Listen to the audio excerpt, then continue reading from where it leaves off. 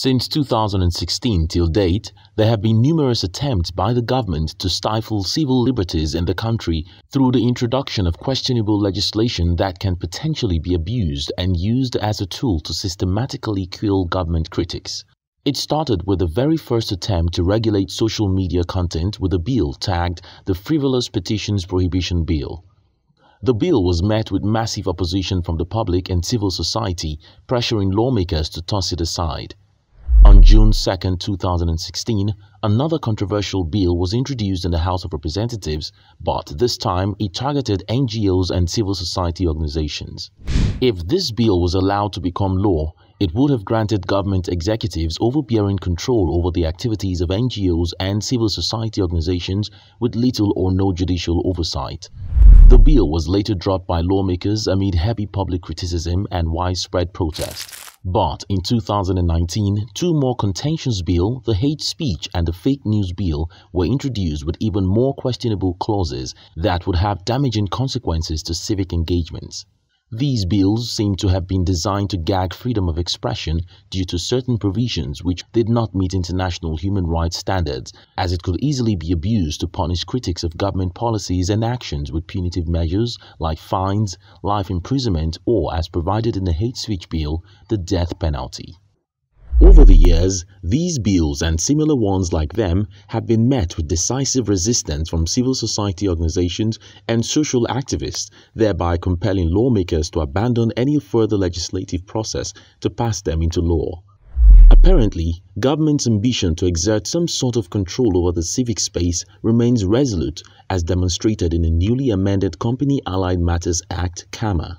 On the surface, the Act appears to be a piece of legislation with provisions to boost the ease of doing business in Nigeria, but a closer and much detailed study of several clauses within the Act begins to reveal a troubling pattern that could very well have negative impacts on civic engagements.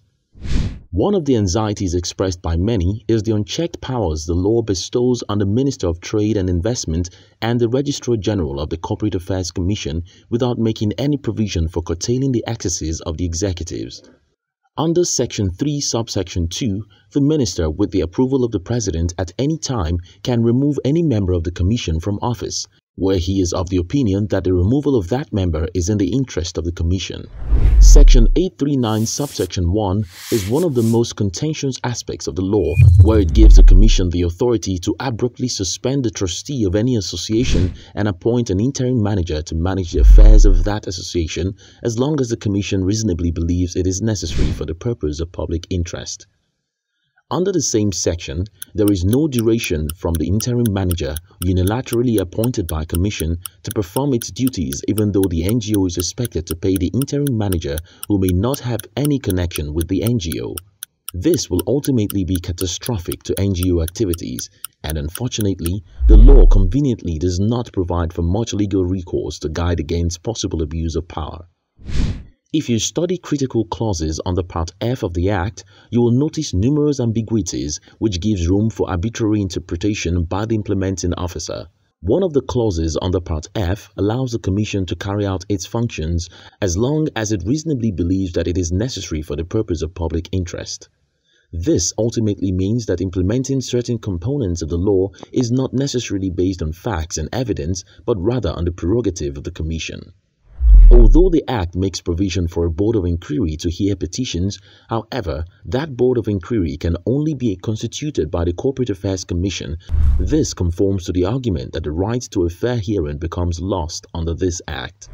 Another area of the law that gives one a cause for concern is Section 831, which states that CAC can make a directive for similar organizations to be treated as the same or NGOs having similar trustees to be treated as the same. The problem here is that it does not state the process it to take to carry out what is actually an involuntary merger of different NGOs just because they are similar in their activities. There is no explanation on how much consideration will be given to the interest, choices and decision of the NGO in making this directive. The Commission thus has the unilateral power to decide on the criteria and requirements on how an NGO is registered, which may not be according to any laid down guidelines. The CAMA appears to be a mashup of borrowed provisions from other countries. Unfortunately, safeguards such as warnings and power of inquiry which protect against abuse of power are willfully omitted from the CAMA. For the sake of protecting the sanctity of democracy and the fundamental human rights of Nigerian citizens from possible abuse, it is imperative that the CAMA undergoes a comprehensive review. Firstly, there need to be nationwide consultations from the civil society who would be resourceful in helping the Commission to achieve its aim without having any negative impact on civil liberties. Secondly, the powers given to the Commission and the Minister need to be checked with the necessary safeguards to mitigate any potential abuse of power. This can be done by reviewing and amending the law to clear it of any ambiguities that allow for arbitrary interpretations by implementing officers. Until the issues highlighted in this video are addressed, the CAMA will always be a potential danger to civil liberties as government critics will always be at risk of persecutions and clampdowns, bringing to question the validity of our democracy.